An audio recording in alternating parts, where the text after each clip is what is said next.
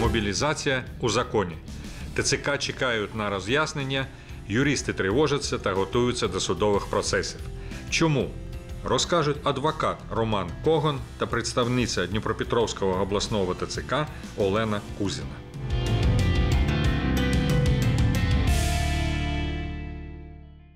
Які положення нового закону, які зміни в підходах до мобілізації військові вважають найбільш важливими та актуальними? Ну, найбільш важливими та актуальними буде те, що це буде задіяння е, до виконання мобілізаційних заходів органів місцевої влади, місцевого самоврядування, е, керівників е, підприємств, установ, організацій, органів національної поліції. Це найголовніше таке. А які функції та повноваження закон надає цим структурам? Те, що на них а, покладаються і контрольна, наприклад, на керівників підприємств, установ, організацій, і національна поліція вона задіюється вже більше цифровізація, така інформатизація вже діяльності. Одне діло, одна справа це мати справу з паперами, інша справа, що це вже все починає переводитися в цифру. Хто згідно з новим законом підлягає мобілізації? Мобілізації в нас е, підлягають от зараз е, це люди, яким виповнилося 25 років. Це повинні з'явитися до територіальних е, центрів комплектування та соціальної підтримки для оновлення своїх даних, якщо вони не були оновлені. От е, в нас трохи знизився вже вік з 27 до 25 років. І для того, щоб людина могла отримати військово-обліковий документ. Який зараз е, вимагається для перевірки. Для цього людина приходить до територіального центру комплектування та соціальної підтримки, оновлює свої дані. Вона проходить військово-лікарську комісію, згідно якої визначається ступінь придатності людини до військової служби. Придатний або непридатний. В будь-якому разі людина отримає військово-обліковий документ, ну що називається військовий квиток. Добре. Е, Що таке базова військова служба? Чим вона відрізняється від строкової, кого стосується, скільки вона триває та е, які її особливості? Під час дії воєнного стану призов на строкову службу в нас не відбувається. Як е, є такі невеличкі роз'яснення до закону. А, Нового, що це базова військова служба, е, це буде від трьох місяців до півроку. Але поки от закон не буде в офіційній публікації, це дуже важко сказати, бо повного тексту поки ще ніхто немає. не бачить. Як е, закон вступить в силу, вже там можна буде це все прочитати. Поки є таке невеличке роз'яснення, що це від трьох місяців до там п'яти місяців. Вона буде тривати, а, от, але повністю ми ще не бачили його. Зараз про електронний кабінет військовозобов'язаного прописано в новому законі. Хто де і як має цей кабінет створити? І ще реєстрація у ньому це право чи обов'язок? Ну, е, з приводу цього кабінету також е, є багато там здогадок, розмов, ще ніхто не знає навіть, як він буде остаточно виглядати. Це буде робитися або ну точно не через е, нас. А от е, як він буде виглядати, як він буде функціонувати, є поки тільки здогадки, є там невеличкі коментарі з Міністерства оборони, але от остаточної версії цього електронного кабінету немає. Хоча е, вже анонсується, що він там повинен от прям скоро а коли скоро це все запрацювати. буде? Коли? Не можу це от вам сказати. Таке питання: чи зобов'язані переселенці, що зареєстровані у нашій області, ставати на військовий облік у місцевих ТЦК? А, так, є постанова Кабінету міністрів України номер 1487, е, де все це прописано, що це взяття на е, персонально-первинний облік або на на персональний військовий облік, і здійснюється це після того, як ця особа визнається внутрішньо переміщеною особою. І, звісно, так, вона стає на облік Ну, РТЦК та СП. реєстрації, Да, так він так. повинен. Чи потрібно чоловікам призовного віку, які свого часу знялися з військового обліку, ставати на нього знову? Чи стосується їх положення нового закону? Якщо людина знялася з військового обліку, то так. Якщо людина виключена вже з військового обліку, то вже не треба. Які вимоги закону про бронювання? Дивіться, е, наразі є два порядку е, бронювання. Е, Затверджені обидва порядки постановами Кабінету міністрів України. Один це номер 76 від 27.01.2023 року. Є у відкритому доступі. З цією постановою може ознайомитися будь-який громадянин України. Друга це постанова номер е, 45. Вона Там з грифом обмеженості. Хто має право на бронювання? Так, згідно цих е, постанов бронюються військовослужбовці за е, тими підприємствами, які мають право здійснювати це бронювання. Е, Критерії для цього бронювання визначає Міністерство економіки України.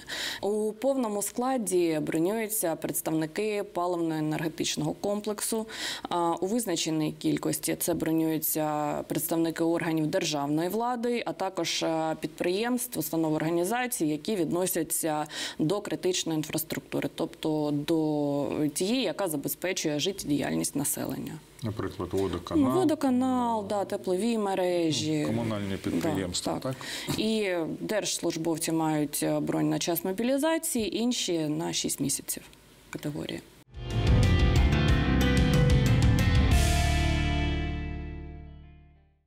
А зараз з нами на зв'язку юрист Роман Коган. Послухаємо його коментар деяких положень нового закону. Потім ми продовжимо розмову в студії. Буде ще багато корисної інформації. Не перемикайте. Вітаю вас, Романе. Доброго дня.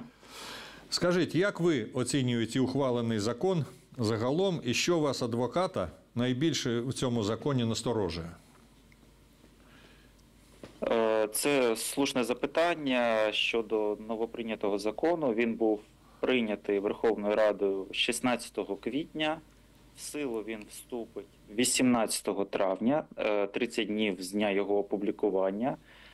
Е, Щодо самої суті закону, то вона в принципі не змінюється. Це посилення і посилення мобілізації, мобілізаційних заходів для того, щоб доукомплектовувати Збройні Сили України. Е, Але як е, адвоката е, турбує деякі питання через, можливо, деякі перегиби в застосуванні цього закону. Досить багато питань залишається після прийняття цього закону. Так, наприклад, новий закон передбачає, що після того, як цей закон вступить в силу, потрібно для того, щоб е, буде відраховуватися 60 днів з дня його прийняття, для того, щоб, по-перше, е, люди, які е, не перебувають зараз на військовому обліку, зобов'язані стати на цей військовий облік. А ті, хто е, перебувають на військовому обліку, зобов'язані оновити свої персональні дані або через територіальний центр комплектування, через ЦНАП, або через е, електронний кабінет призовника е, військовозобов'язаного. Е, але ці 60 днів. По-перше, незрозуміло, чи зможе територіальний центр комплектування опрацювати всіх цих людей за 60 днів, тому що ну, це досить багата, велика кількість людей. Е, незрозуміло, які будуть подальші дії територіального центру комплектування, якщо особа не зможе, не встигне це зробити протягом 60 днів саме через об'єктивні підстави, е, які дії будуть впроваджені е, територіальним центром комплектування. Е, Та незрозуміло, які дії будуть робитися працівниками е, національної поліції. Чому за поліцію кажу? Тому що е, насправді затримання та доставлення до територіального центру комплектування саме співробітниками поліції узаконені саме цим е, новим законом.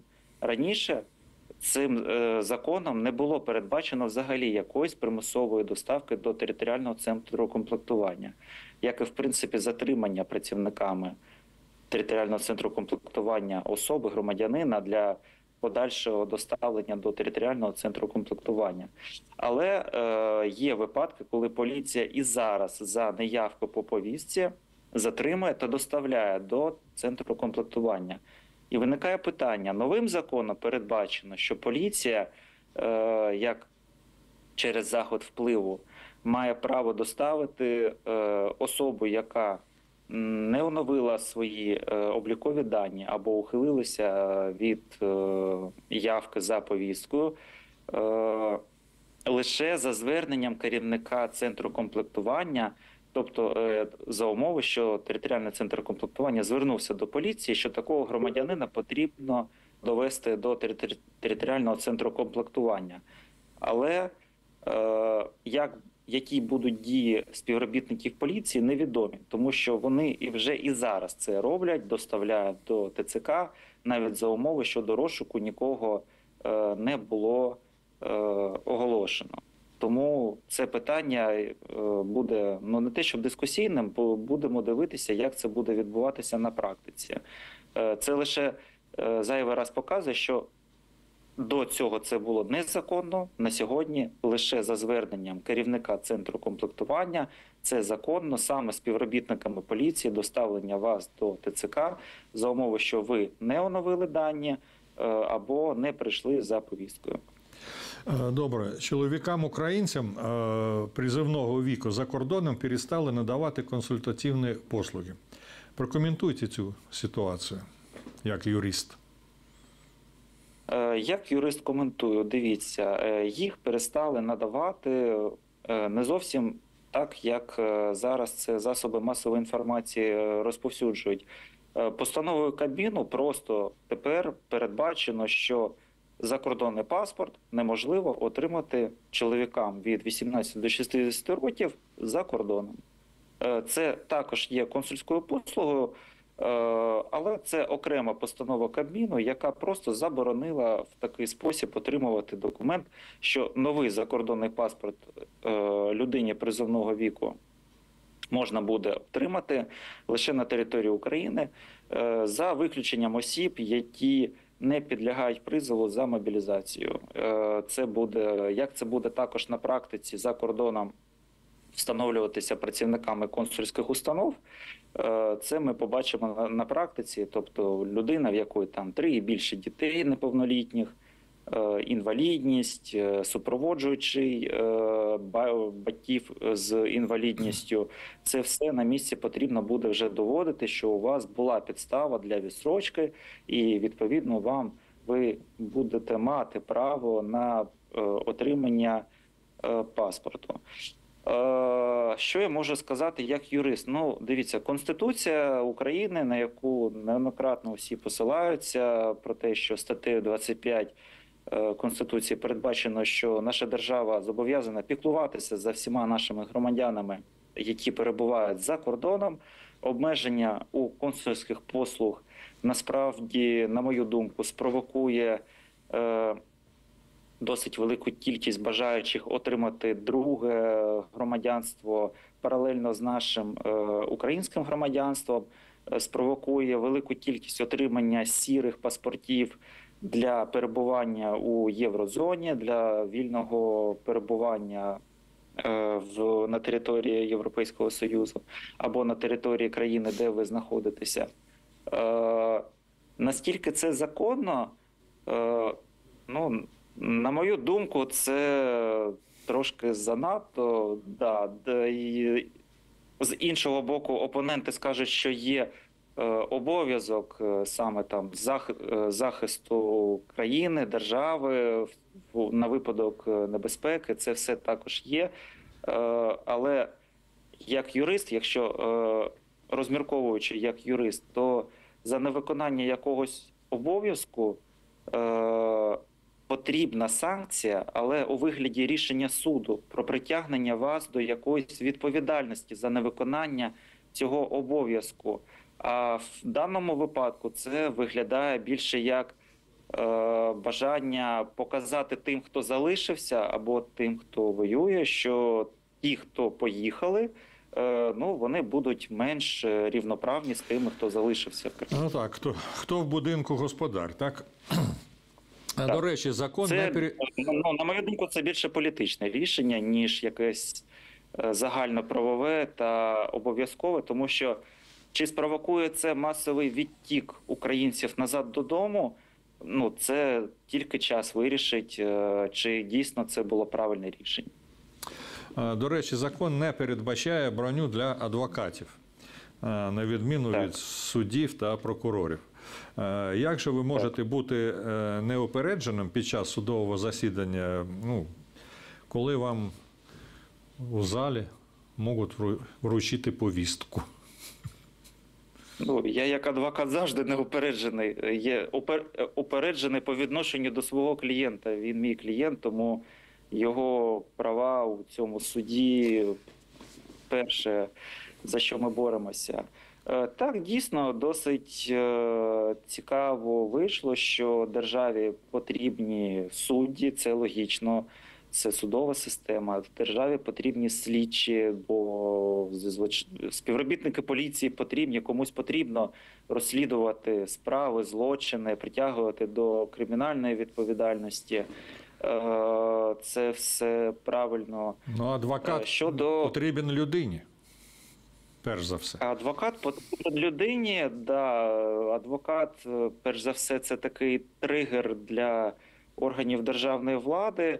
Хоча Конституцією прямо передбачено е, професію адвоката у системі правосуддя. Адвокат, система адвокатури є частиною правосуддя, тому е, такий перекос у бік державного обвинувачення ну, він завжди був і до воєнного стану. Просто процесуальним законодавством е, адвокати з клієнтом є завжди у меншості. Е, Єдиний його захист це закон, процесуальний кодекс е, і які знання. Але проти тебе працює уся державна машина. Але без цього, без роботи адвокатури, це нічого доброго також не буде. Якщо хтось думає, що адвокатура заважає притягувати дійсно винних осіб до кримінальної відповідальності, це не зовсім так. Е, Це для того, щоб слідство, органи обвинувачення разом із судом, е, разом із тими, хто дійсно у чомусь винен, е, не, не вигрібали усіх, кого можна і кого хотілося. Добре. І останнє запитання. У законі зазначається, що до громадян, які порушили законодавство, можуть бути застосовані так звані тимчасові заходи. Е, Поясніть, що це таке, та що робити і куди звертатися людині, якщо вона вважає, що її права порушені, у тому числі і такими тимчасовими заходами. Е, Ну, дивіться, новим законом е, ввели тимчас такі заходи впливу. Це саме доставлення, розшук та доставлення особи, яка не з'явилася до ТЦК за повісткою, або порушила оці 60 60 днів на оновлення своїх персональних даних. Ми е, люди е, в такий спосіб автоматично є порушниками статті 210 прим. 1 е, Кодексу України про адміністративні правопорушення за зверненням керівника територіального центру комплектування може бути звернення е, до органів національної поліції для примусового доставлення такої особи до територіального центру комплектування для складання на нього адміністративного протоколу про порушення, що він е, що така особа не зробила, не оновила свої дані. е, Для того щоб притягнути її до адміністративної відповідальності, логічно, що фактично разом із цим особа пройде військово-лікарську комісію та отримує ну, подальші повістки для відправлення її до війська. Е, якщо органи національної поліції не можуть вас е, знайти, особу, яка не прийшла, не з'явилася, е, вона є у розшуку. Через певний час органи національної поліції можуть відписатися до територіального центру комплектування, який надав такий запит, і після цього ТЦК має право зробити наступне: відправити на вашу адресу вимогу явитися до ТЦК. Е, Ця вимога відправляється поштою. Якщо е, особа не отримує цього поштового відправлення, і це поштове відправлення повертається до ТЦК або отримує під розпис цю вимогу, е, і не являється все одно до ТЦК, то після цього ТЦК має право звернутися до адміністративного суду з позовом про обмеження вас у праві користування транспортним засобом. У порядку та процедурі, яку визначив новий закон, е, суд зобов'язаний розглянути цю справу протягом 30 календарних днів з дня звернення з такою позовною заявою е, ТЦК до особи е, за умови, що така особа не надасть клопотання про те, що вона має е, бажання брати участь у цих засіданнях суду.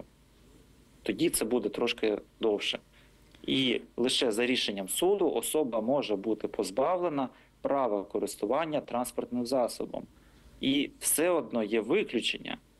Не можна такий заход впливу, як обмеження е, в користуванні транспортним засобом, накладати на особу за умови, що керування транспортним засобом є її єдиним джерелом існування. Це відноситься до водіїв, які офіційно працевлаштовані водіями. Е, Рахунки мають право блокувати? Ні? Ні, е, зараз е, лише таке обмеження ввели новим законом через суд, обмеження у праві користування. Рахунки поки не блокуються. Е, Автоматично після того, як е, хтось не оновить дані, його не позбавляють права користування транспортним засобом. Е, Новим законом також додали, що можна мобілізувати транспортні засоби громадян, якщо це більше одного транспортного засобу. Але ну, Ну, це вже інша, для кого. інша історія. да, да, да, да. могли і раніше це зробити. Новий закон лише заборонив останнє авто забирати. Так, так. Дякую вам, Романе, дякую. На все добре. Дякую вам за запитання. А ми продовжуємо.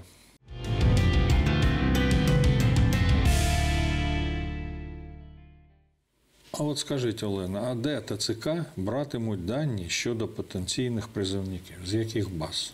З чиїх баз? Дивіться, нам дуже допомогла така система оберіг. Так. От е, люди, які з'являються для оновлення даних, вони вже є в цій системі. Ця система функціонує. Тому що е, дехто каже, що будуть е, використовувати бази там, не знаю, операторів мобільного зв'язку, банків, е, нової пошти. Так. Ну, російська ІПСО, на, жаль, у нас е, все-таки залякує, продовжує залякувати. А, ніяких незаконно, це незаконно. Ну, Це ви самі дійсно. розумієте, що це незаконно, і територіальні центри комплектування та соціальної підтримки ніколи не будуть е, користуватися незаконними методами.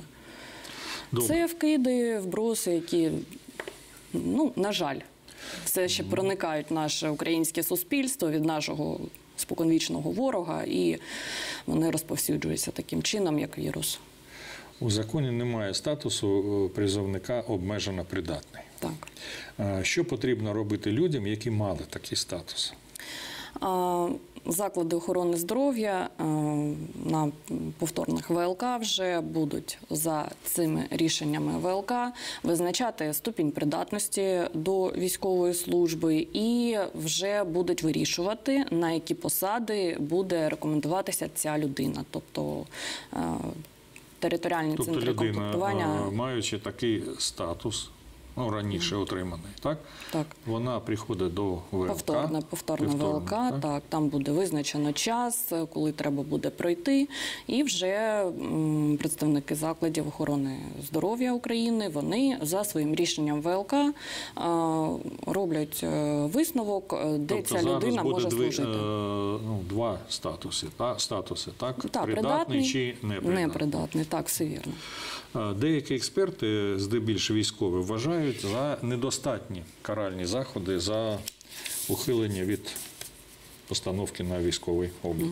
Яка ваша думка з цього приводу? і Які повноваження набули ТЦК для роботи з тими, хто не хоче виконувати вимоги закону? Ну, дивіться, як я казала, з 18 травня вступає в силу дія Так. цього нового закону, і зміни будуть до інших там законів. Все це буде прописано, і вони вже будуть регламентувати порядок е, покарання за ухилення від постановки на військовий облік.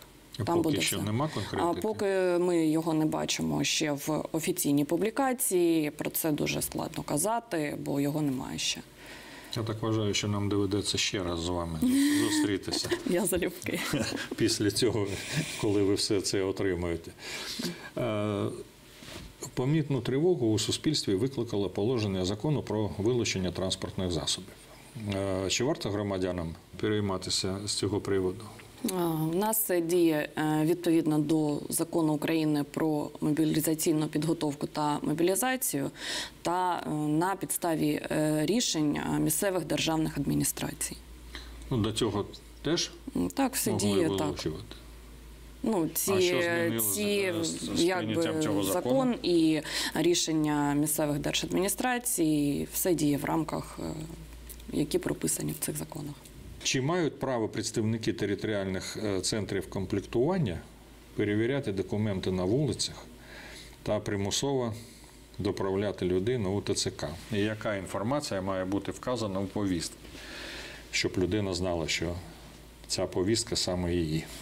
На це мають е, право органи національної поліції, і якщо громадянин скоїв адміністративне порушення за статтями 210, е, 210.1 Кодексу України про адміністративне порушення, тобто це порушення законодавства про оборону, мобілізацію, мобілізаційну підготовку. Ще одне питання. Міністерство оборони почало створювати у містах рекрутингові центри. А Чим відрізняються такі центри від ТЦК?